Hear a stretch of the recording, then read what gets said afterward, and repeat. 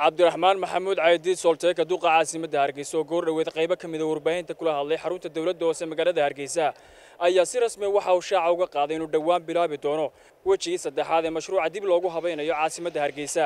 Maayarka oo arrimahaas ka hadlaya ayaa yidhi maanta sidaa arkayseenba waxaanu bilownay fayskii saddexaad ee g i s ka oo ah in faylashii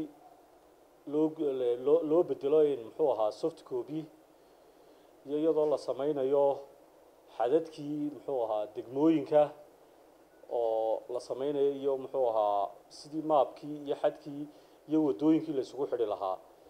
Oy noqon lahayd loo diiwaan gelin lahaa wixii ay dadku leeyihiin wixii ah dan guuda sida iskuullada masaajidada iyo muxuu ahaa warshadahoo kale. Iyo sidii loo sameyn lahaa magacyadii sidii iyo way samaysayna sidii loogu qori lahaa muxuu ahaa magacyadii magacyadii waddooyinka.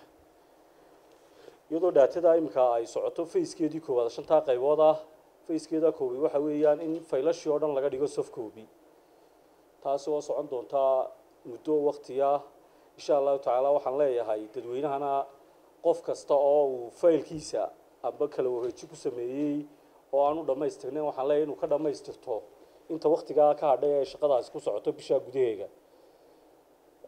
Iyadoo noqon doonto uu qofku dee si fiican ugu diiwaan geli doono markay gaadho bisha tobnaadna la samayn doono certificates amba mulkiyado noqon doono inuu qof kastaaba aqalkiisa si rasmiya mulkiyadiisa u helo.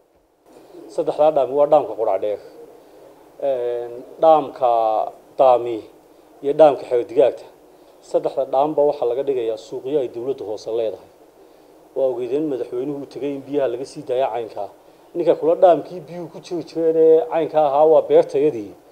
Adduunyada waxa weeya dhulka damiciisi wuxuu galay meel walba. Deedna waa ninka indhaadayga tab maraya inuu yidhaahdo dhaamka dhexdiisii baa beertayadii ahayd. Cabdisamed cali axmed iyo cabditaah maxamed axmed telefishinka caalamiga star t v. Hargeysa